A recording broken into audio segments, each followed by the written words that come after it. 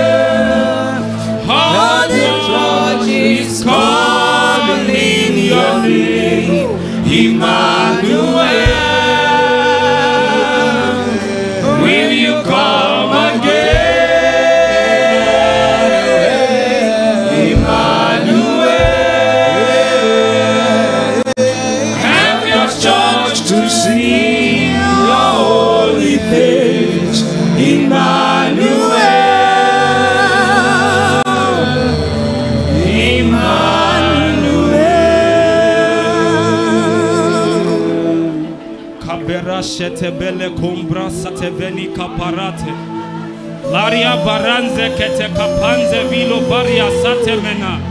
Zikapata baria shetenko. Lebronze veli kapante briati la baratai. Rate kapande ziva rate kadia. Zila mareto brende fekete kumbrezia. La kapate via barata. Our prayer is simple. Let the veil that cover the nations be taken away. Let the veils that covers the nation be taken away. Kamele teberia shibariatane. Le rose kapa kamele tediano. Rate kapazi baruze belente. Zekate preziboriatane. You are the king over the nations. You are the Lord over all creation. We ask that the veil that covers the nations be taken away. Be taken away, be taken away, be taken away, be taken away. The veil, the veil that covers the nation. Zale barate belika palatane. Ziata kate beriala mande. Eze When parata kaparia shate. Zibaro zekatano. Ebrende sebele katebrenia latai. Malatai. Ah, all the world is calling your name,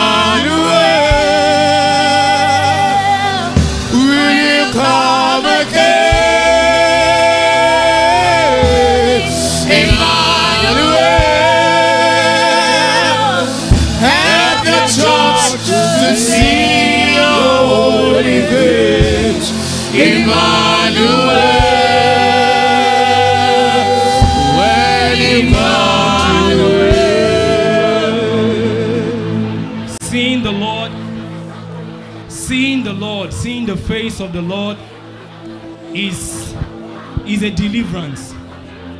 If the Lord can cause us to behold his face, to see his face as it really is, it's a deliverance. There is a level of knowledge, level of understanding and wisdom that can only come when we behold the face of God. There are things that have tied us down, things we have struggled with that do not have any other choice but to be destroyed when we see the face of the Lord. Our prayer this morning that even as we go into the word briefly, the Lord will cause us to see his face. It will cause us to behold his face, that every veil upon the hearts of men will be tear, it will be torn in the mighty name of Jesus. Father, we ask that you help us. Help us to see your holy face. Help us to see your face, Lord. In the name of Jesus. For thine is the kingdom, the power and the glory forever and ever. Amen. You may be seated in the house of God this morning. Amen.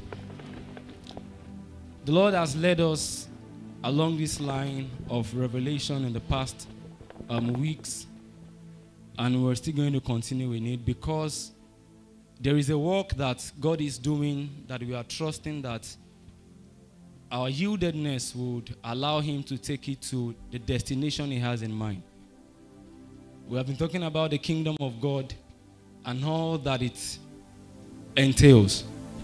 Today we'll be looking at another aspect of that vast um, economy of God, the kingdom of God. Amen.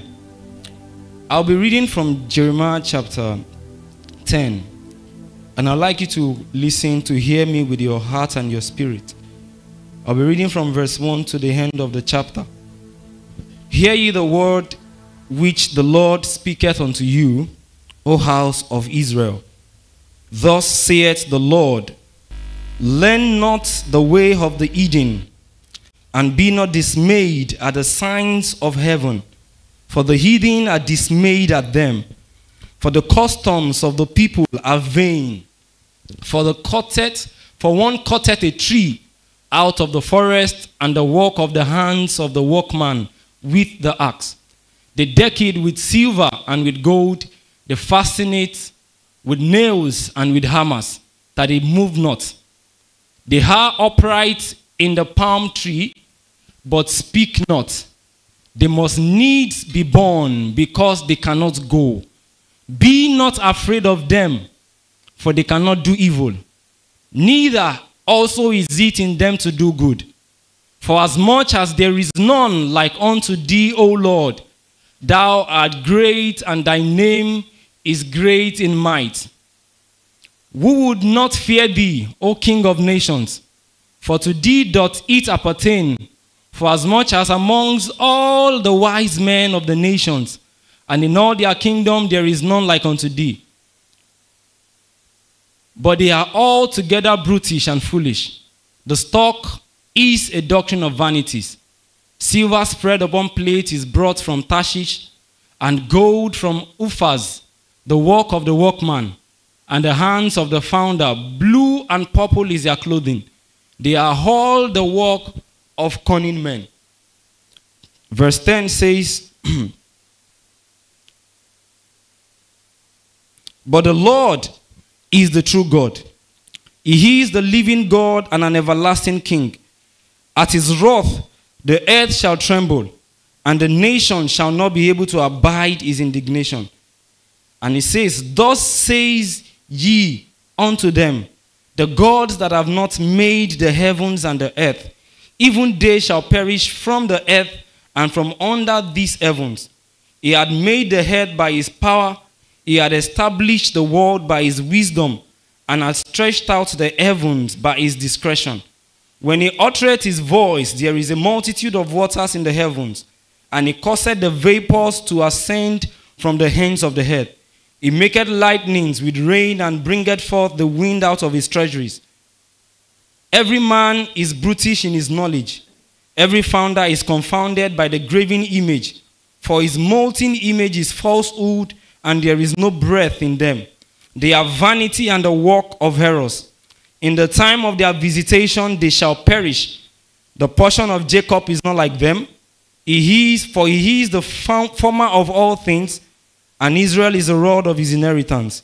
The Lord of hosts is his name. Gather up thy wares out of the land, O inhabitants of the fortress.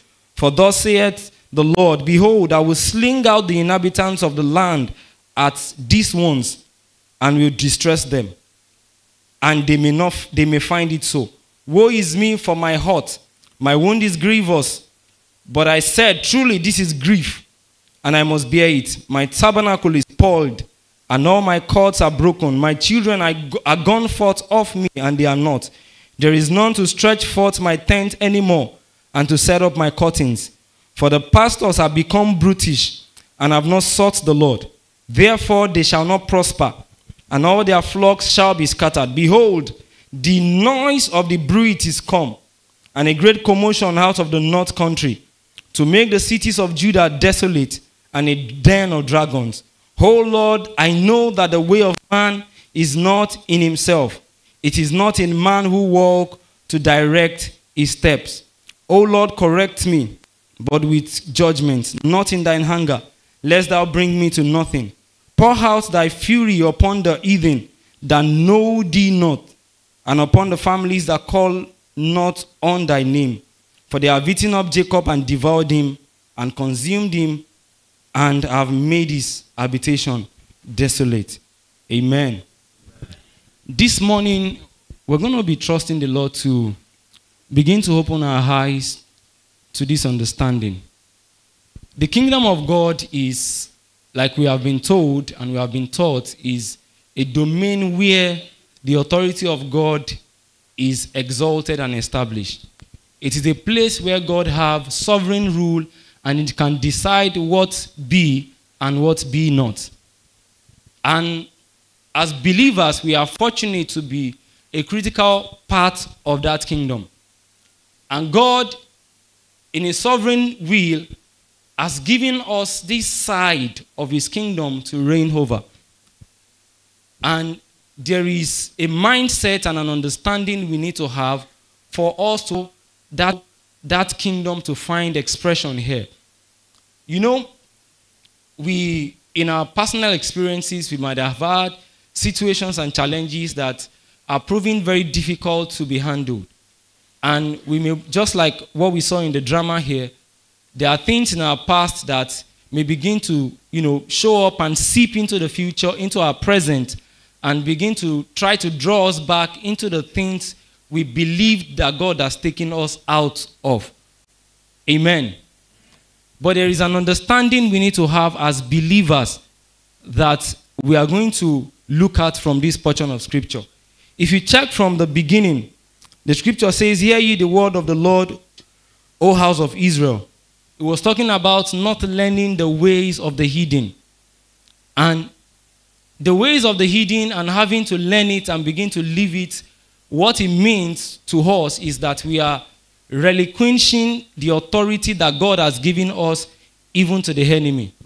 When we begin to practice all the principles and all the ideas and all the ways of the enemy, we are more or less living and um, relinquishing our authority that God has given us unto Him. But it is important that, as much as that may be the case for us in the past, there is a new reality that we are living in now. And there shouldn't be a time for us as believers that we should forget about that reality, irrespective of what the circumstances is. My major um, emphasis from this chapter of scripture, um, from this chapter, is in verse 10. The scripture says, Thus says, thus shall ye say unto them, the gods that have not made the heavens and the earth, even they shall perish from the earth and from under these heavens. That is the judgment of God proclaimed upon the whatever power that is at work in this world that is not of God. Whatever influence, whatever power, how- no matter how high ranking that power is, there is already a verdict and a judgment from God that is against them. It says, as long as any of this deity, any of this God, any of this power, any of this influence didn't contribute to the creation of the earth, as long as there is no input from them to God, there is no knowledge that they borrowed God, there is no intelligence that they gave to God or support that they gave to God when He was putting together the heaven and the earth and the principle that guides the operation of the earth, they shall perish. We saw how that um, Jeremiah was explaining the nature of these gods. He says they are the handwork of men. They are plated with silver and plated with gold. And the reality, in truth, their reality is nothing. Their reality is nothing. And that's looking at it on, on, um, on the surface. We can begin to contextualize it to our own time and season. You know, many times there, there are devices that we have made for ourselves, there are wisdom that we have crafted for ourselves that we believe can help us maneuver the challenges of life. We, even though we have submitted our will to God, submitted our, our, our will to God, so to speak, but there are also devices that we have crafted, that we have created, that, that are more like idols, that we believe are going to help us to overcome life's challenges. Probably because we feel that, okay, God, God is not as fast as I want him to be. Then we have decided to craft another way for ourselves. We have decided to create an, an idol of our own making to satisfy a longing that we have on our inside. And that's the first place we need to start from. You know, we are, our nature as human is that we'll definitely have longings we will definitely have desires, we will definitely have things that we want to achieve. We'll have, in fact, we have legitimate needs. And many times when we begin to deal with God and relate with God, it appears as if God is not mindful of those needs, is not mindful of those desires and those longings that we have. And if God does not help us, if we are not submitted and broken to the core, there is a possibility that we'll begin to have God by the way, you know, just have Him by the side, walking with Him. And then by this other side, we are crafting our own way to manage God and manage the fulfillment of our desires. And I, like I said again, some of these desires are legitimate desires. But there is a place we need to come to as people that are um, subject to God. There is an understanding we need to have that the will of God is perfect at every time. The will of God is perfect at every time. It may not look like it. In the meantime, it may be it may be grievous, it may be very hard to bear, but the will of God is perfect at, very, at every point in time.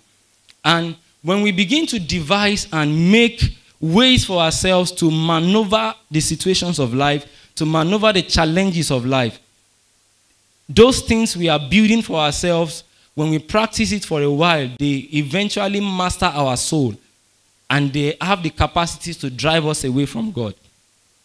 Amen. They have the capacity to drive us away from God. I would quickly, you know, dive, dive, um, dive um, um, what's the word now? Digress. Thank you. I will quickly digress into the story of um, Jeroboam and Rehoboam. We know how that um, because of the iniquity of David and then um, the lack of um, the ways of Solomon, how that he began to follow other gods, God eventually gave a decree that the kingdom was going to be divided during the time of his descendants. And we saw from scripture that the kingdom of um, the, the kingdom of Israel, that was a united kingdom at that point, became divided we now have 10 tribes coming together to form Israel, and then two tribes, Judah and Benjamin, coming together to form Judah.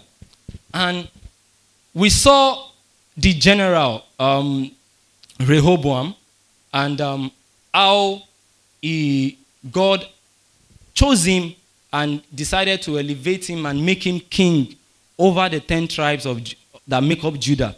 Amen. And a time came, I would like us to open to the scripture so that we can get the, right context. That's First King chapter 12. First Kings chapter 12.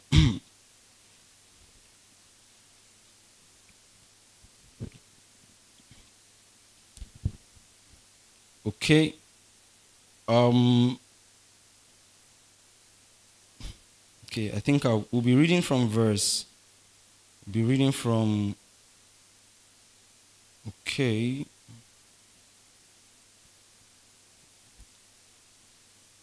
that should be verse 16 yes verse 16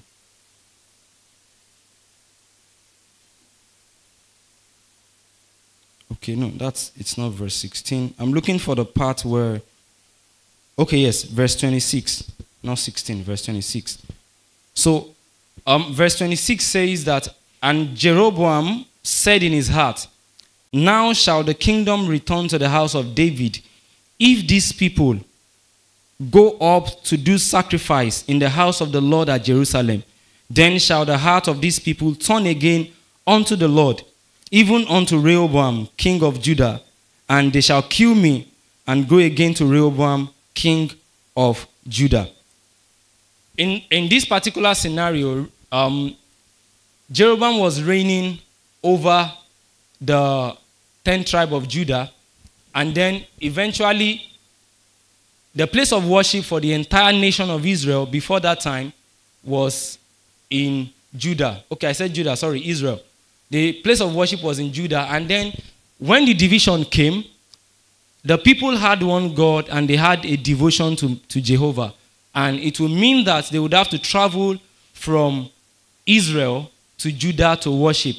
And then the king began to think in his heart that, okay, I am a king in my territory and my people are going to another nation that I have severed myself from, that we are even having a power tussle to go and worship.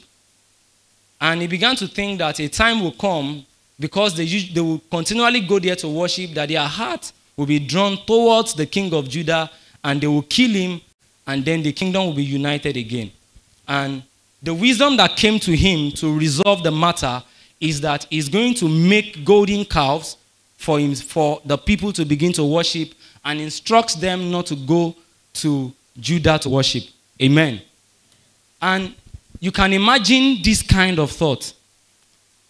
This is a man that was helped by God. He was single handedly chosen by God, not because he had a link to the royal family or because he was worthy to take that position, but God single handedly picked him, and the grace of God found him, and he made him king without any device of his own doing. There was nothing he did, there was nothing crafty or nothing, um, no wisdom that he employed for him to be chosen by God. And then when he got to that point, he felt that the people were going to desert him because they would continually go to Judah to worship. And then he created a golden calf and instituted idolatry in Israel. And this, has exam- this is an example of ways that we sometimes devise means for ourselves to get our desires fulfilled. And it's important that we note this and we are careful because every one of us, we are susceptible to make this kind of error. God, God's way is a way that must be followed through and through. In the same um, Jeremiah chapter 10 that we were reading earlier, we'll see there also that the scripture says that that should be verse verse 23 it says oh lord i know that the way of man is not in himself and it is not in man that walketh to direct his step. O lord correct me but with judgment not in thine anger lest thou bring me to nothing so verse 23 says the way of a man is not in himself and it is not in man that walk to direct his own step. And this is where we are meant to start from as people who are meant to bear rule in the kingdom of God. There is an agreement that has to be established in us. There is a, we must be one. Yes, I think that's the best way to put it. We must be one. And this is what I mean by we must be one. We must be one spirit, soul, and body. Because Jesus was telling um, the Pharisees in, um, in the book of Matthew that a kingdom that is divided against itself shall not stand. And then for us as individuals, we must be one spirit, soul, and body. There is a move of God on your spirit that must find its way into your soul and be expressed in your body and by the things that you do. There must be that oneness in us as an individual, even personally, for us to be able to um, be effective in this kingdom and be able to achieve the result that God has for us. Our soul, our spirit cannot be at war with each other and alongside with our body, and then we would expect that we will be productive as people in the kingdom. We, it cannot happen like that. God, at the point of salvation, has been able to transform, more or less exchange, and you know, rebirth our spirit. And there is a unity, an understanding that is between the Spirit of God and the recreated spirit of every believer. And this agreement must also be trans, must be trans, must be um, transferred to the soul and the body. And this is one of the greatest battles that we will fight as members of the kingdom. It is actually an inward battle that we will continue to fight so that the kingdom of God will find expression here on earth. The, the level to which we are being able to conquer in this battle will determine how much of the kingdom of God will make bear on earth. So the battle is, first of all, an inward battle. For example, we saw in the case of um, the king of Judah how that the battle started as a thought in his heart. He began to think that as these people will go to um, Judah to, to worship and they would be interfacing with the king of Judah, there is a possibility that their heart will be drawn back to him. And that was where the battle came from. It was a whispering from darkness that came to his soul. And he is not able to manage and deal with that whisper very well. And then the whisper came along with a wisdom to solve the problem, a wisdom of darkness to solve the problem. And the wisdom was for him to begin to create idol for the people to worship within the territories of his land and they wouldn't have need to go to Judah. And for many of us, that is the beginning of the battle. We face difficulties, we face challenges, but then there is a whisper that comes. There is a whisper that comes giving us seemingly brilliant solution, fast and quick solution to deal with the case. But the way, the way of a man is actually not in himself. And it is not in man that walk to direct his own step. If you check the pages of scripture, you will see examples of things like this over and over again. Amen. We'll see examples of things like this over and over again. God giving an instruction, and then man is in a very difficult situation, and a contrary idea, a contrary solution, a contrary idea to the instruction that God gave came as the solution to that problem. So, this is a battle we would have to fight every day and every time. And we need to begin to trust the Lord for the grace and the wisdom to be able to overcome. And that's the that's the foundation, that's like the primary battle that must be fought. Also, we will look at um, the example I cited, the, the nation of, the, at the point where the nation of Israel was divided.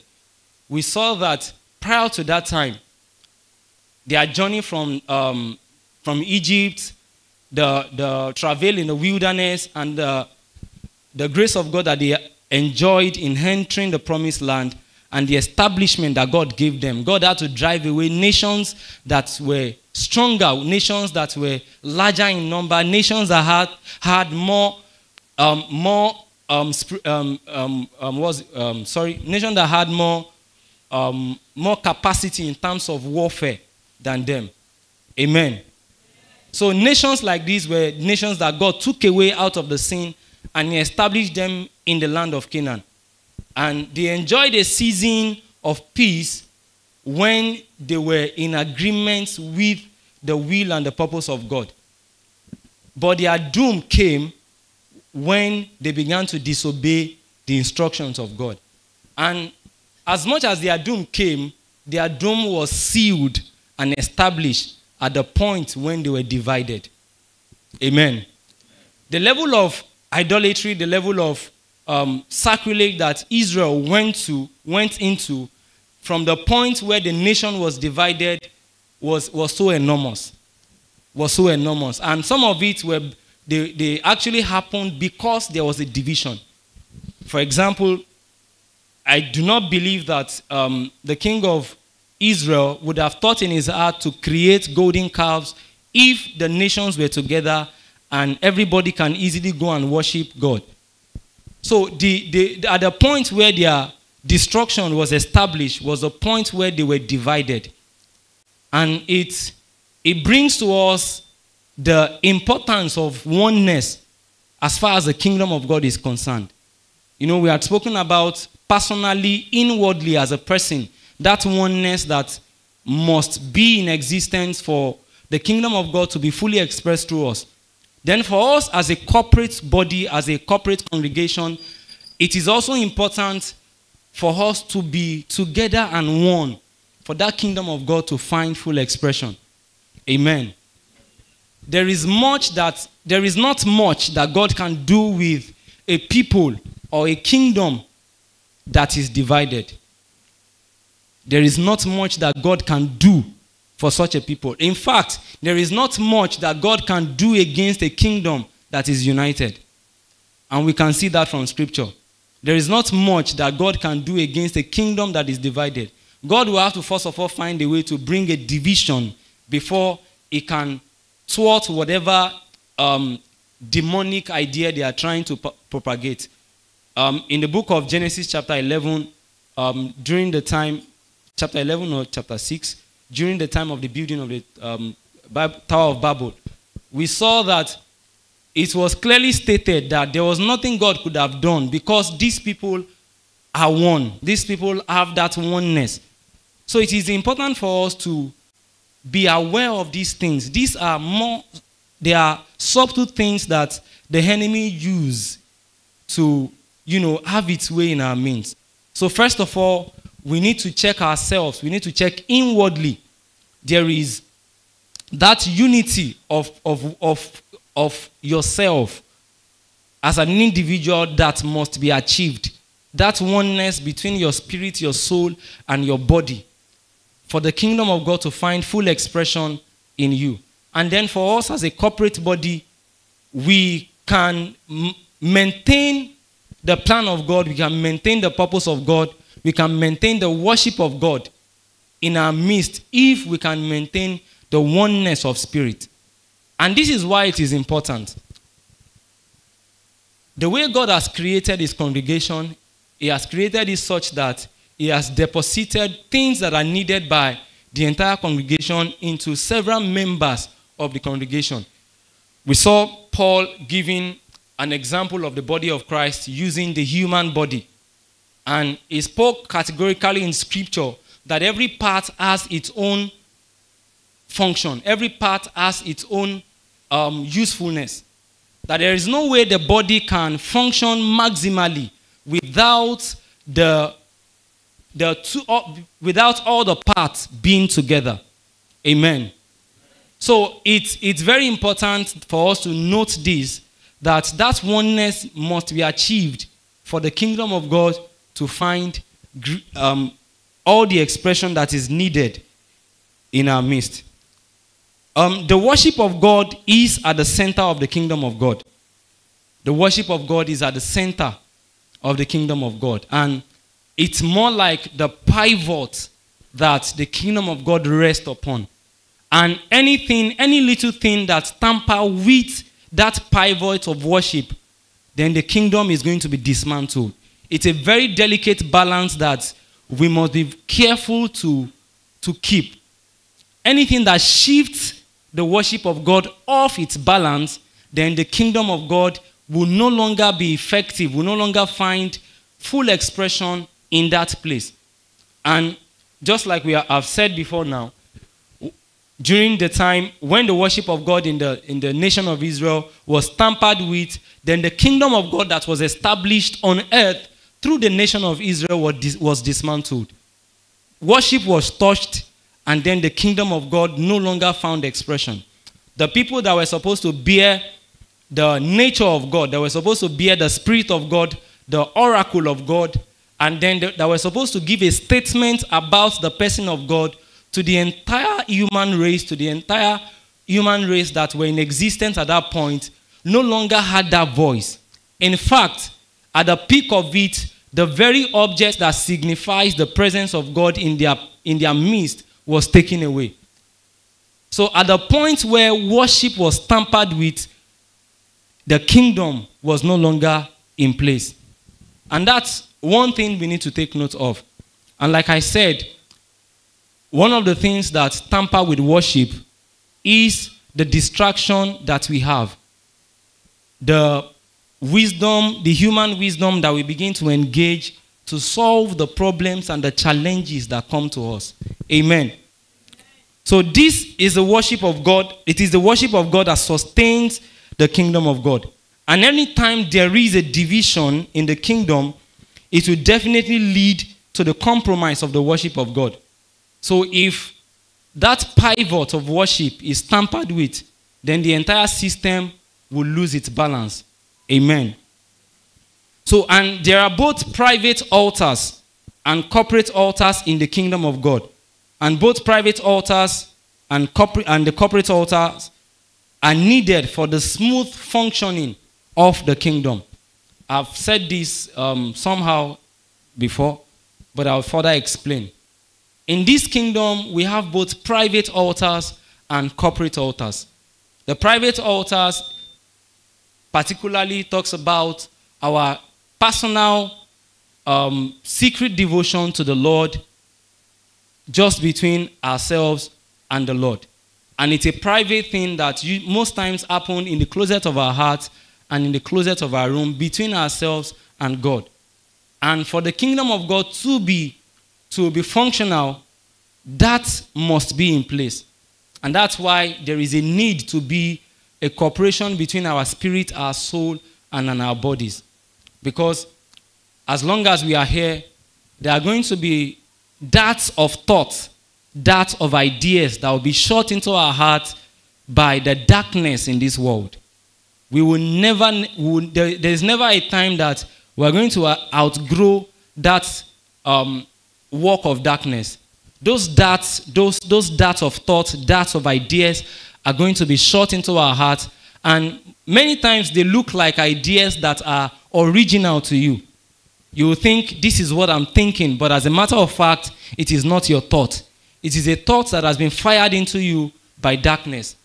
And if we are not intelligent enough to confront, to pull down, to tame, and to destabilize that thought by the word of God, as long as we begin to give room to it, as long as we begin to allow it to foster, it is going to arch and find expression. It's more like when you put an egg into an incubator and you don't need to do anything. Just allow the egg to be in the incubator and just be there. And because our heart has the capacity to arch thoughts. And the important thing is that you don't allow it to first to foster in your heart. But if you allow it to foster and you think nothing will happen, it's just there. I'm just thinking it. It's just there in my heart. I'm not, it's not as if I want to do it. I'm just thinking about it. You have you are already giving it power to gain root into your heart. So it's important that as we engage the world and the darts of evil thought and the dart of demonic wisdom is being shot into our heart, we are wise enough to counter it immediately with the knowledge of God. Casting down every high thing, every imagination and thought that is exalting itself against the knowledge of God. So, this is a wisdom we need to begin to employ to manage that kind of situation. And basically, this that what they are trying to aim is the place of our worship, the altar of our worship. The altar of our worship is either that they find a way to deny you entrance into the place of worship, or they make you a kind of person that is not fit for worship. So there are two things they would want to achieve. Is either they they they make the door, they, they put you in such a in a state where you will not be able to enter into the place of worship, or they make you a person that is not fit to stand in the place of worship. So these are things that these, these um, attacks of darkness against us individually tries to achieve. And when that is achieved, the kingdom of God that is meant to find expression through our lives, through our dealings with one another, will be compromised. Amen.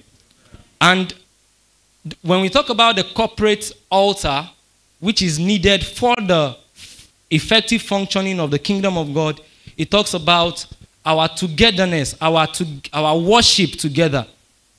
More or less what we are doing today. Anytime we come together in a corporate atmosphere, praying together as a team, praying together as a congregation, we are more or less in that corporate altar, burning incense and making sacrifices. Amen. And when each and every one of us begin to come with our item of sacrifice that we have been able to, that we have, um, that we have to give to the Lord, and we make such sacrifice, it will not be accounted to just the person that made the sacrifice. It will, it will be accounted to the corporate body because it is a corporate altar. And this is to tell us that the input of every one of us on the corporate altar is very important. That as you come with your own sacrifice, as you, as you come with your own incense and you burn it on the corporate altar, it will not just be accounted to you as an act of worship, but it will be accounted to the entire congregation corporately as an act of worship. So we have to be very careful that we guard that unity so that that place of corporate worship and corporate altar is not comprom- compromised. And we need this for the kingdom of God to find full expression in our midst. We need all of this for the kingdom of God to find full expression in our midst. Amen. Praise the Lord. So there are key items um, for our corporate worship that God has placed in the vessels of some members of the congregation. And if such people are separated from the congregation, our corporate worship may suffer. There are key items. If you check even in the New Testament, in the early church, we had teachers and we had prophets that were significant people needed for the growth and the, function, the, the effective functioning of the church in that day. And you can imagine when a congregation lacks the ministry of a prophet, or a congregation lacks the ministry of a teacher. And God puts graces in the lives of people because He has His congregation in mind.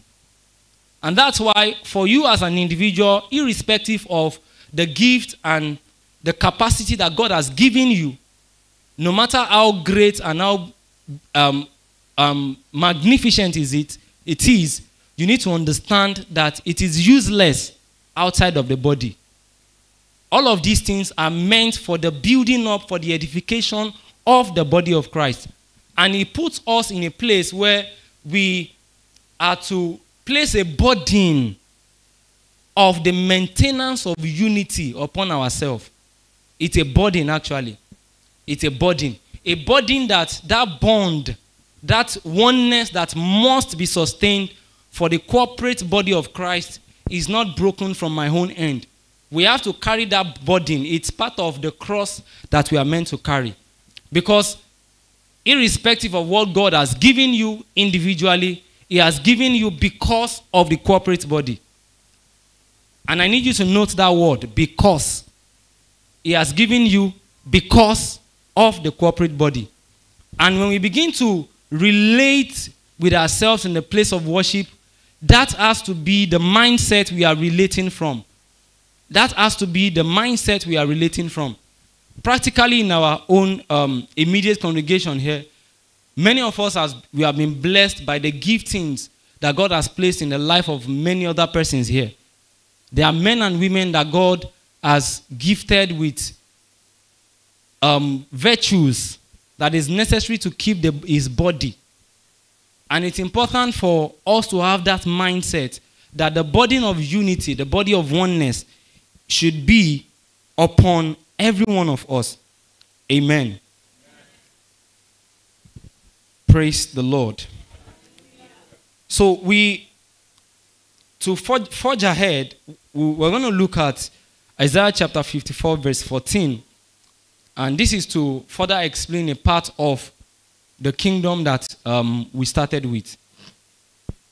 It's a very popular scripture that says, No weapon that is formed against you shall be able to prosper, and every tongue that rises up against you in judgment you shall condemn. And a, a very critical question came to my mind while I read this scripture not too long ago. And what does it mean when scripture said that every tongue that rises up against you in judgment you shall condemn? You know, many times we, we read a passage of scripture and we just quote it and believe that it is effective. But you know, sometimes it's not just about quoting it, Quoting it may mean that you need to do something. So the question that popped up in my, in my heart is what does, what does it mean to condemn every tongue that rises up against you in judgment? Because scripture says you, you are to condemn it. So is it just by saying, Oh thoughts, I condemn you? Like, oh thoughts, I condemn you. Amen. But if you if you read that passage very well, this, it, it gives an idea of what happens in a court of law when a criminal that has committed an offense is brought before the judge, and then the advocates began to put forth all the evidences that they had they have for and against, and then at the end of all the um, back and forth in the court of law, the judge proclaims a verdict, and most times, if the court system is a good one, most times the criminal ends up being condemned. And that's the idea that is captured in that scripture that says, Every thought that rises up against you in judgment, you shall condemn. It brings an idea of you taking that thought into the court of heaven and then beseeching the God of all the earth, the judge of all the earth, rather, to place a judgment based on all the evidences that you have against that thought. Amen. So that's the idea he brings forth. God has said that you are the head and not the tail, for example, and then there are thoughts coming to your heart saying that definitely you are going to fail. Can't you see? Your mother didn't finish secondary school, your father didn't finish, your elder brother did not finish. So what makes you think that you even go to the university and finish? And that, that's like a thought. And then you bring that kind of thought to the court of heaven and you begin to, you know, deal with God and say, no, this is contrary to what you have said in your word concerning me. And then you demand for a verdict from the court of law against that thought. And that's when a verdict is now proclaimed against the thought, then the thought is condemned. So it's like a process in the court of law. And all of these things are things that happen when we pray. And this, I said this to further explain um, where I started from. That are, there are critical things in the kingdom that we need to have an understanding for of. And until we have that understanding, we may not be able to effectively um, function. And many of us, because we are not very skilled and wise in engaging God and getting answers, we have had to devise ways and means to get our problems solved by ourselves. um, I believe you are beginning to see the link between what, what all I've been saying. So there because we do not really understand how to approach God, get answers from God for the things that He has promised us, then we decide to look for an alternative. And when we look for an alternative, we are deviating from the kingdom. We are making redundant the power that is meant to be available in the kingdom. So it's important that we take note of these things and we, we understand the way God works. Amen. So every tongue that rises up against us in judgment, we are meant to condemn. We are meant to bring them before God and ensure and begin to plead that God brings a verdict or the verdict that is already in existence is enacted immediately against that um, thought.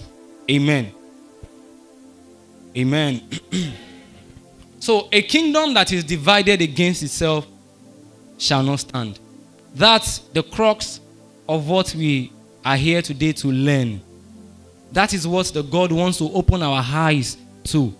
And there are diverse ways. There are diverse ways that this is applicable. There are diverse ways. We have the personal division that can happen to a man with himself. I've seen people that are even doubting the power of God, the grace of God, and the gifting of God in their lives. They have seen visions, they have seen dreams, they have been given prophecies about what God wants to do with their lives. But they are not able to bring themselves to a place where they can believe that word and begin to run with it. There is a lot of doubt, there is a lot of anxiety, a lot of a lot of unbelief because of who they think they are. Because of who they think they are. And they are not able to come to a place where they can believe the word of God spoken concerning them. And until we come to that point where we can believe God's words that is spoken personally concerning us, we will not be able to, to work it out. We will not be able to work it out. It finds expression in different dimensions. The example from the drama people who God has saved from their sins, and because of the memories that haunt them, they still find it very difficult to believe that God has done that work. People that God has called to be great evangelists and great teachers, and because of their present condition, because of the way that their um, up- upbringing has damaged them, they can't believe, they, they can't bring themselves to believe that they can be used of God along that line. And this is a critical battle that every one of us must fight. No- And, and we, are to, we are meant to fight it not just because um, you, you, you need to be uh, if you need to be recognized as someone who is doing something for God. No. We are meant to fight it because the corporate body of God, the corporate body of God needs what God has deposited in you for it to be um, for it to function maximally. Amen.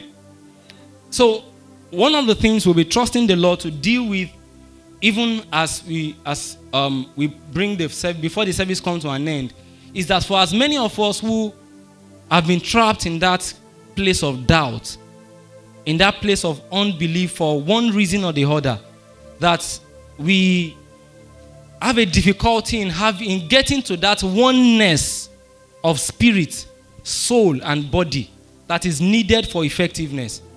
That God will begin to bring down every wall of barrier. That that oneness will be achieved personally in us in the mighty name of Jesus. So it's important that we we we stay we we strive yes we strive to achieve that oneness like i said it's a battle that we will continue to fight and the grace of god is ever present to help us even in the seasons of this battle. Praise the lord. All right um, finally i'd like us to to read um, jeremiah chapter 10 verse 23 sorry verse 14 verse 11 verse 11 because while we while the um, service was going on, I perceived strongly that the Lord will have us pray along that line. There is the power of God to break demonic strongholds, to break, and the kind of demonic strongholds I'm talking about are influences, are influences that keep people bound, influences that keep people bound, that do not want them to, you know, achieve the fullness of the purpose of God for their lives. He says, Thus shall you say unto them, The gods that have not made the heavens and the earth, even they shall perish from the earth and from under these heavens. This is more like a verdict, it's more like a condemnation that is brought to the gods. It's more like a verdict from God. He says, Thus shall you say unto them, The gods that have not made the heavens and the earth, even they shall perish from the earth and from under this heaven. I'd like you to rise up this morning, even as we pray. There are influences, and I need us to listen. There are influences that is manipulating our realities. Some of these things, they are, they are things that are deeply rooted into our foundations, deeply rooted into the generations before us, and it has find found a way to travel, and it has it is still affecting our possibilities now. But the scripture here says that thus shall you say unto them, the gods that have not made the heavens and the earth, even they shall perish from the earth and from under these heavens. We lift up our voice this morning and we are going to be decreeing this verdict of the Lord against the gods that have not made the heavens and the earth. He says, They shall perish from the earth and from under these heavens. There is an aspect of the earth that God has given unto you. Your life is a section, an aspect of the earth that God has given unto you. Your family is a section of the earth that God has given unto you. And you have the legal right to proclaim the judgment of God upon any God or any influence that is manipulating circumstances within that context. We are lifting our voices. We are asking that they shall perish.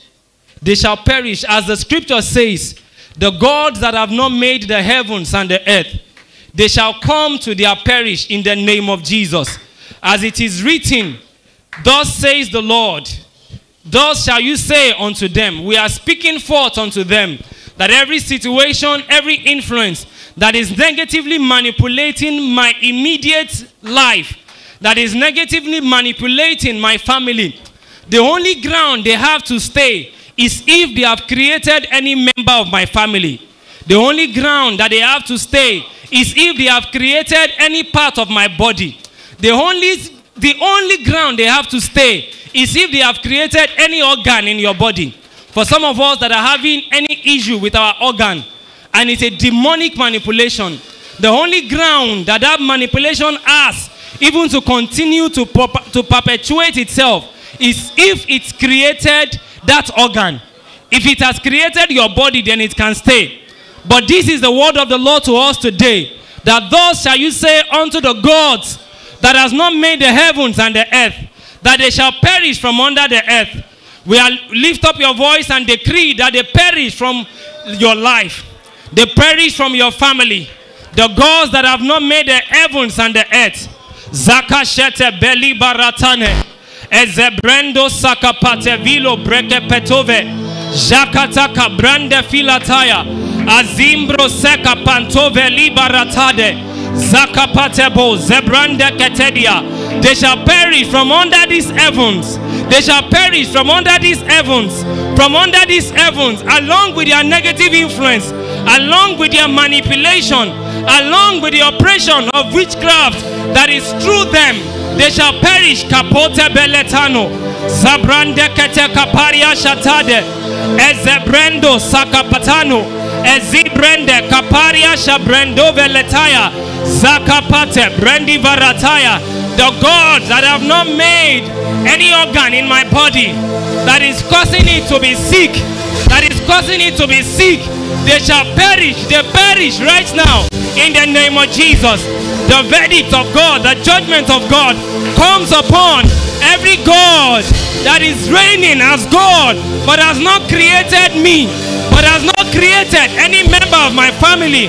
Zapote, Kapande, Ezembre, Zivarataya, Azimbro, Sakapatabilo, Ebreska Faratande, Sigadayata, Shabarata Meloberataya, Ezebrende Fekete Kobeliatai, Ziatai, Ziatai, Ziatai, Kabai, Zepe Kapa Shate, Ebrendo Sakapariata Lataya.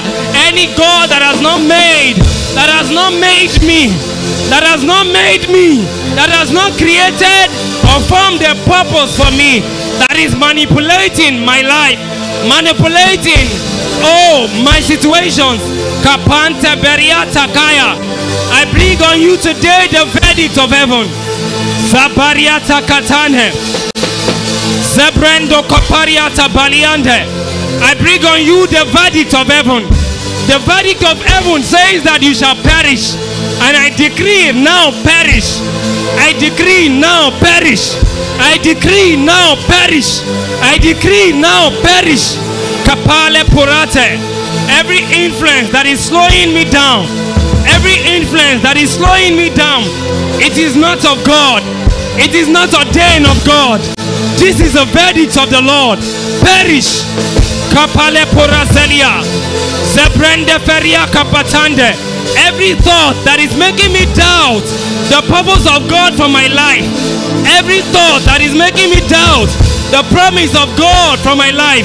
This is the verdict of the Lord. Perish. Kaparia Shate. Ere Pereso. Brenda Fila Paria. This is the verdict of the Lord. I come today with the verdict of the Lord. I come today with the verdict of the Lord. Perish. Kaparia Shate. Ezembre Kefelo Zeriatane. Ezibarato Pekatande. Ekariata Palia. Berule Ketane. I come today with a verdict of the Lord. Perish. Kaparate Pelete. Kapoda Taparatada. Rapala Kapandezia. I come today with the verdict of the Lord. Perish. I come today with the verdict of the Lord. Every God, every deity that has not created you, that is manipulating you, their influence perish. Their influence perish. Kapore setendo. Erabada brande kashete. Zebrendo kapra kaparia tada. Arabala brando sobre kaparia. Aruza pande katakombe riata. Shaka. Shaka. Shaka. Shaka. Shaka. Shaka. Shaka. Kaparo seteleria. Zabareto periata belelede. Rapo berende.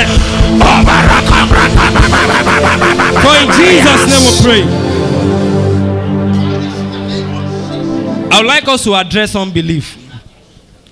I would like us to address unbelief.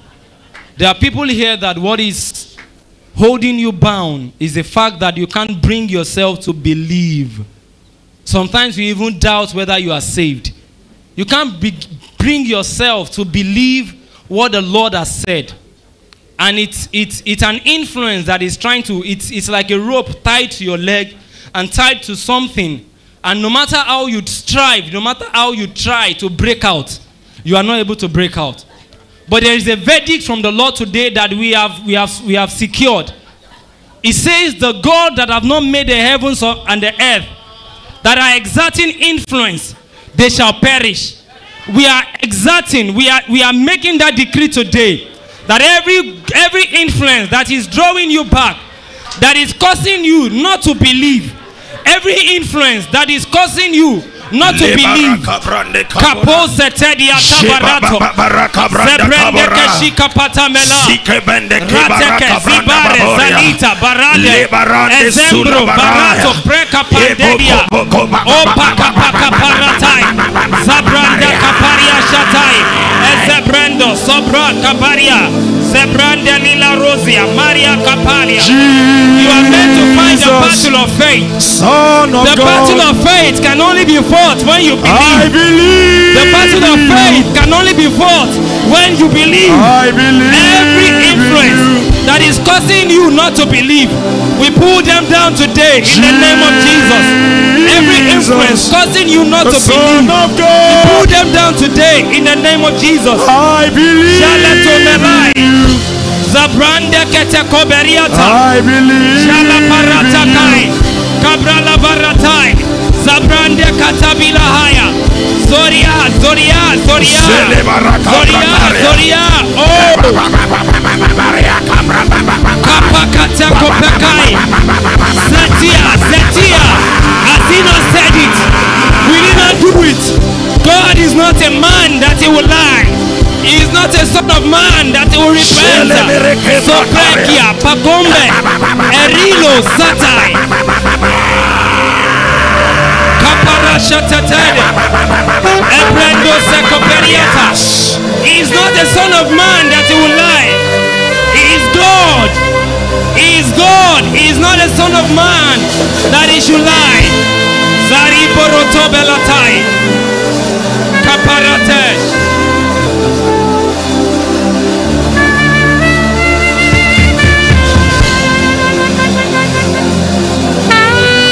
Shemene kaborea tamina.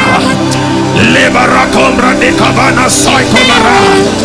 Eva baba baba baba baba. Zacapote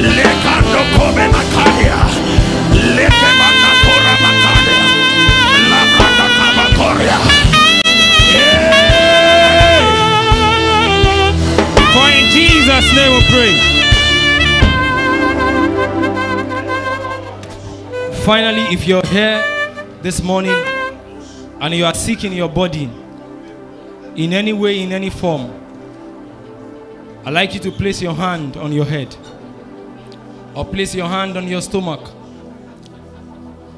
Whatever ailment, whatever sickness, whatever terminal disease that has perpetuated because of the influence of a demon, it comes to an end today.